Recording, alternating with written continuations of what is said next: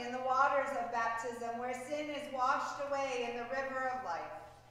Dwell peacefully in the loving arms of the one who nurtures all creation. Go forth boldly in the assurance that your sins are forgiven in the name of the one who is coming and is already here, Jesus Christ, our Savior. Peace, let us pray to the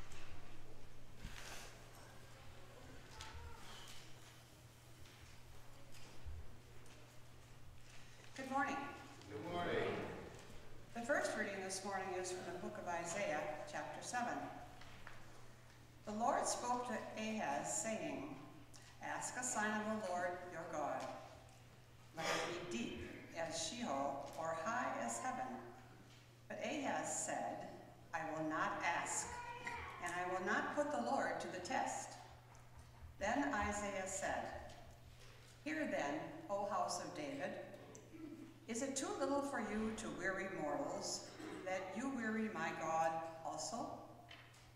Therefore the Lord himself will give you a sign. Look, the young woman is with child, and shall bear a son, and shall name him Emmanuel. He shall eat curds and honey by the time he knows how to refuse the evil and choose the good. For before the child knows how to refuse the evil and choose the good, the land before whose two kings you are in dread will be deserted. The word of the Lord. Hear,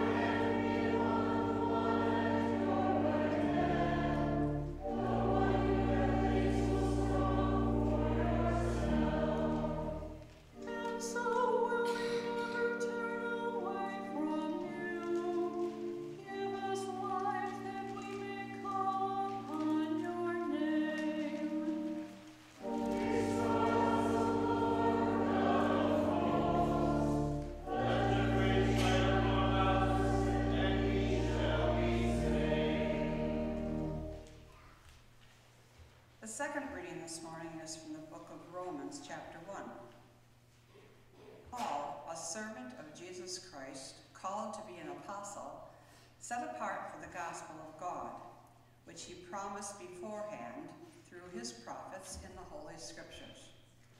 The gospel concerning his Son, who was descended from David according to the flesh, and was declared to be Son of God with power according to the Spirit of holiness by resurrection from the dead, Jesus Christ our Lord, through whom we have received grace and apostleship to bring about the obedience of faith among all the Gentiles for the sake of his name, including yourselves who are called to belong to Jesus Christ.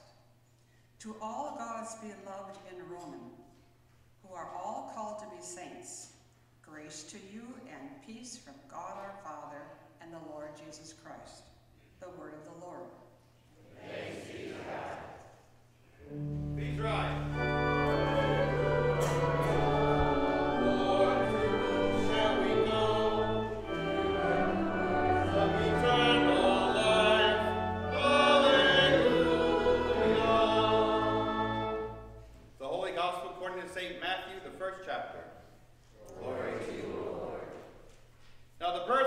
Jesus, the Messiah, took place in this way.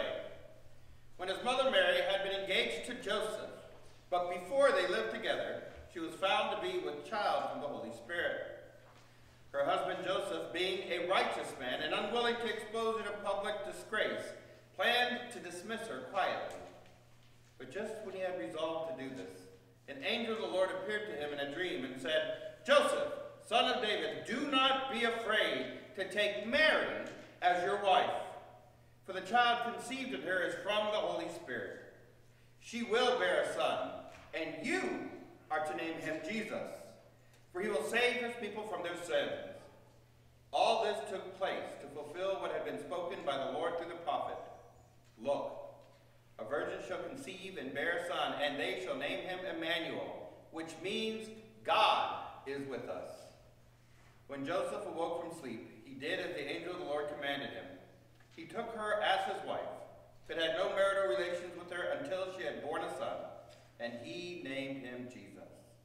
The gospel of the Lord. Praise to you, O Christ. You may be seated. Grace and peace be with you from God our Father and our Lord and Savior Jesus the Christ.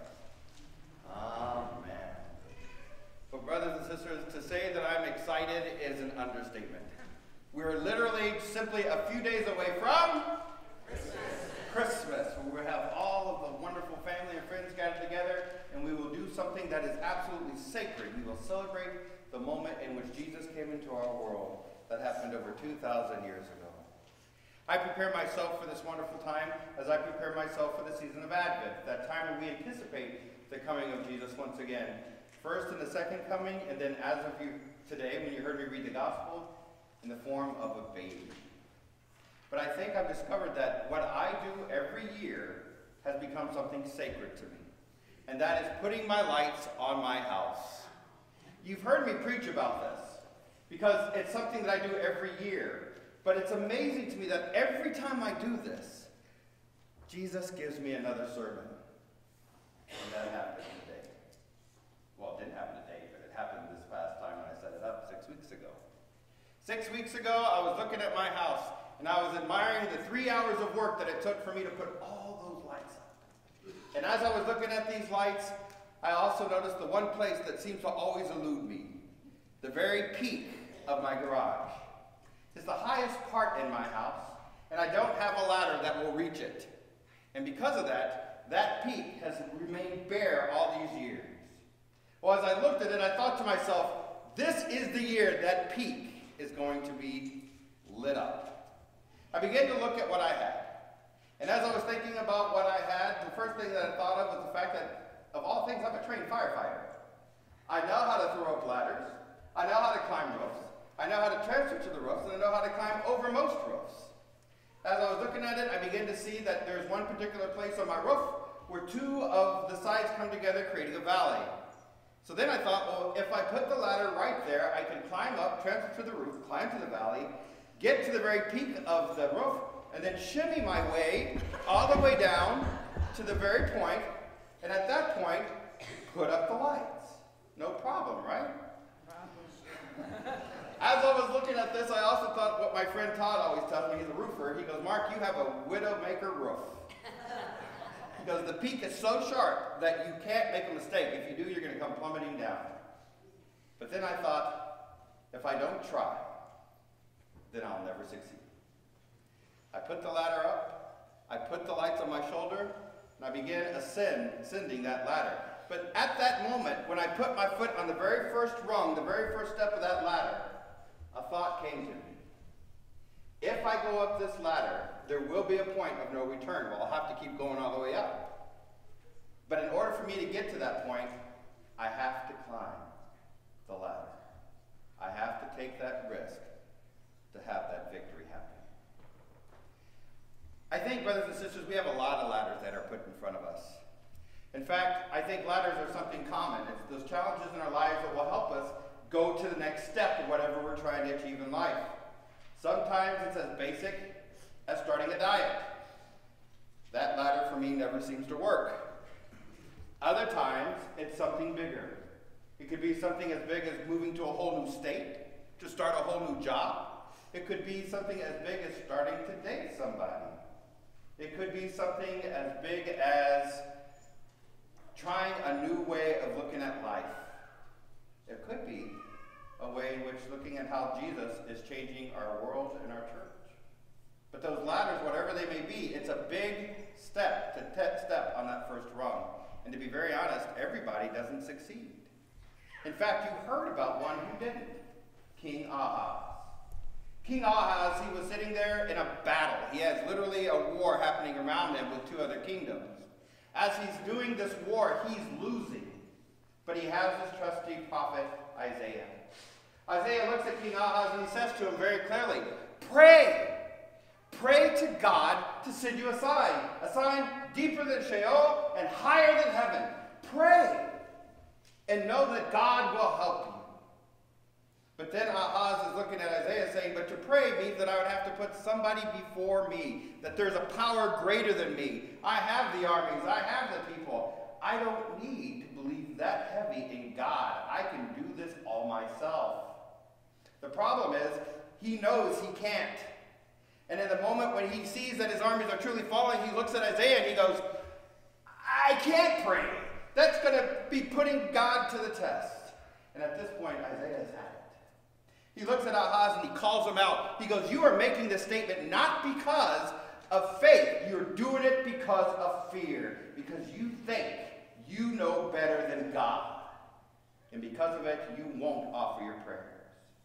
He then goes on to say the moment in which God will answer the world's prayers and the world will respond to it. He says, There's going to be a lady, and she's going to be given a baby by the Holy Spirit. And that baby is going to come into this world, and there's going to be a man there who's going to have to accept him as his own. And he too will face a ladder. But that man won't fail, he'll succeed. And when that baby comes into this world, the kingdom of God will be experienced. And he looks right at Ahaz, Ahaz and he says to him, But you won't experience. Because of your fear to walk that ladder, the kingdom of God is going to walk right by you. Well, I did make it up that ladder. I made it all the way up to the ladder. I shimmied myself all the way to the very top of the room, threw my leg over the uh, that peak. Thank you. Threw my leg over the peak, and as I did, as I promised, I started shimmying myself down all the way. I had lights in one hand and prayers going the other way. I seen it on YouTube. You saw it on YouTube. That's good. As I was about a third of the way down, the heavens started to open up and it started to rain. If you remember, two weeks after Thanksgiving, or excuse me, after Halloween, it was cold. It was very cold. The wind was blowing hard. And the first thought to my mind was, this is going to form ice. And do you know what it did? It formed ice. And every puddle that I saw, you could see it starting to frost over. And then I had to make a choice. Do I keep going? Or do I go back down? If I go back down, nothing's going to happen. If I go back to the way it's always been, nothing's going to happen. If I stop progressing, nothing's going to change. That valley, that peak and part of my garage will not be covered in lights. Or I can simply keep going see what I can do. Well, I did. I kept going and I shifted my way all the way down to the peak of that light. I like doing this, it's kind of fun. I put the lights up, and then I began to shimmy myself all the way down. As I was doing that, it dawned on me, especially as I was reading this gospel text, there are many times, brothers and sisters, when that challenge, it seems overwhelming and so great. But if we don't take that challenge, we simply remove the ability to celebrate the joy and victory of life, particularly when it comes to faith. You see, that's what Joseph did. Joseph was there, he was betrothed to Mary. Mary, being betrothed to Joseph, is a legal binding contract. For all intents and purposes, they were married. All that had to happen was the actual ritual. That's all that was left. Imagine Joseph when he hears that Mary, at home, is with child. Could you imagine having your child come to you and say, Mom, Dad, I'm pregnant by the Holy Spirit? Be a little hard to take in, wouldn't it? Well, Mary was pregnant with the baby, and Joseph, hearing this, decided that he was going to dismiss her. That was his choice. He could dismiss her because of what had happened, and he could do it in a variety of ways. Inevitably, what would happen is a very real possibility that Mary could be stoned because she broke this contract. But instead, he did something different. He listened to the angel that came to talk to him that said, Joseph, this is a gift from God.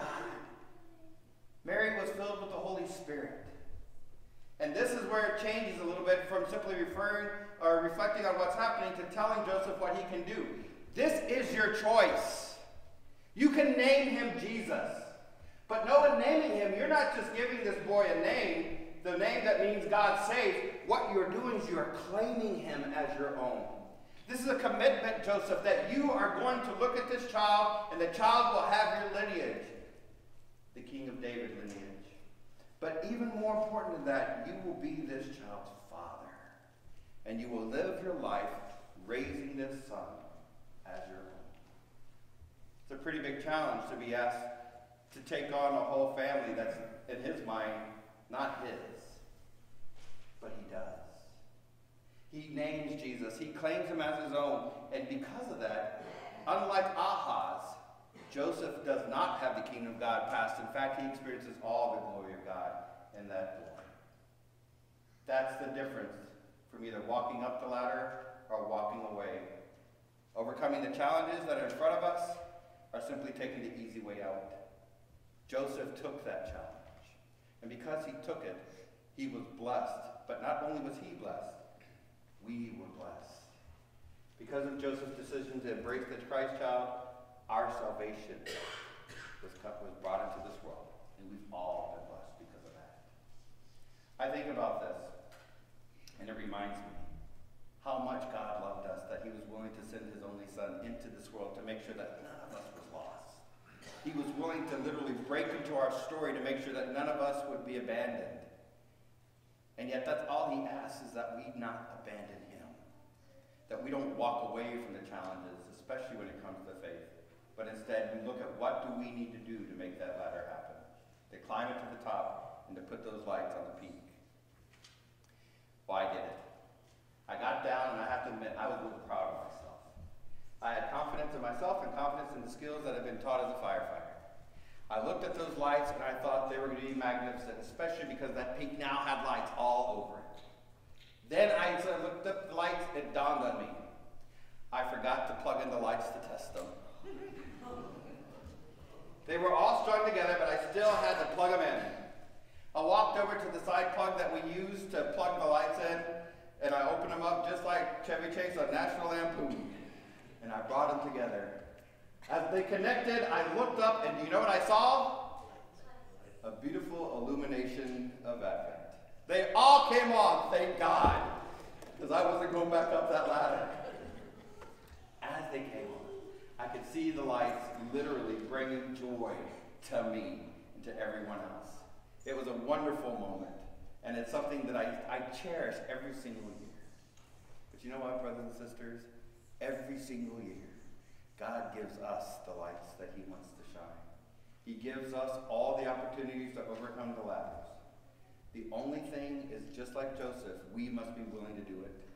We must be willing to walk forward and take those challenges on. Because if we do that, then you will always see that the light of Christ will never go out. It will shine bright in this wonderful place we call His world. And we are His chosen people to do it. Amen? Amen.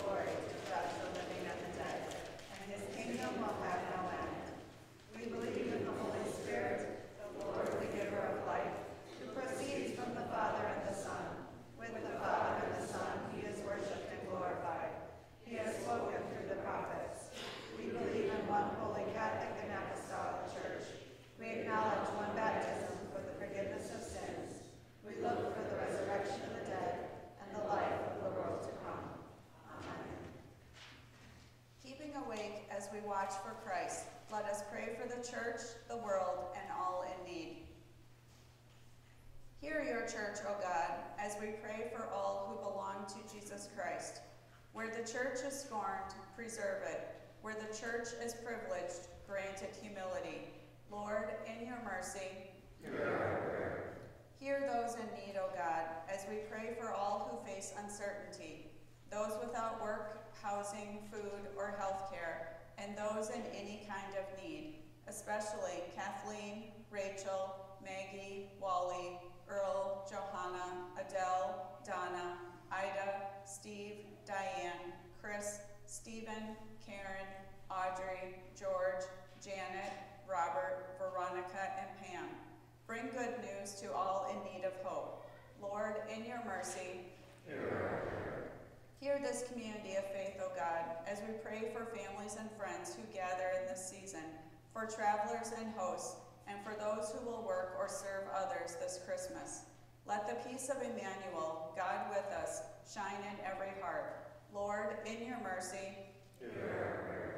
Hear this community of faith, O God, as we pray for those in our military, especially Amanda, Joe, Peter, Brett, Caroline, Jake, and Bryce. Remind them they are never alone, and please bring them home safely and soon. Lord, in your mercy, hear all who mourn, O God, as we remember the lives of our beloved dead, especially Jean's brother Jim. Encourage the living to learn from our ancestors in faith as we follow your call. Lord, in your mercy,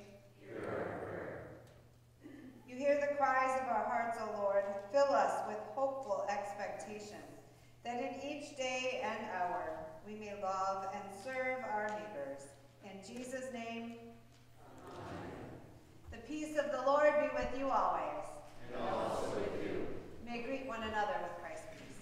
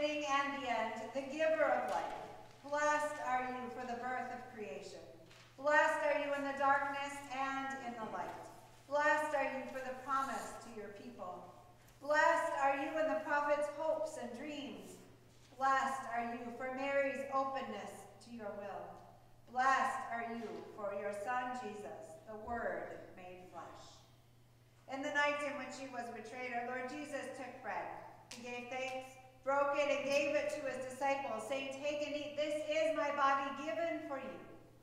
Do this in the remembrance of me. Again, after supper, he took the cup, gave thanks, and gave it for all to drink, saying, This cup is the new covenant in my blood, shed for you and for all people, for the forgiveness of sin. Do this in the remembrance of me. With this bread and cup, we remember your word dwelling among us, full of grace and truth. We remember our new birth in his death and resurrection, and we look with hope for his coming. Holy God, we long for your spirit. Come among us, bless this meal. May your word take flesh in us. Awaken your people. Fill us with your light. Bring the gift of peace on earth. All praise and glory are yours, Holy One of Israel. Word of God incarnate, power of the Most High, one God, now and forever. Amen. Lord, remember us in your kingdom and teach us to pray. Our Father, who art in heaven, hallowed be thy name. Thy kingdom come, thy will be done, on earth as it is in heaven. Give us this day our daily bread, and forgive us our trespasses, as we forgive those who trespass against us. And lead us not into temptation, but deliver us from evil. For thine is the kingdom, and the power, and the glory, forever and ever. Amen. The feast is prepared. Everyone is welcome here at Christ's table to receive his gifts of life and love, which will help you go up the ladders in your life.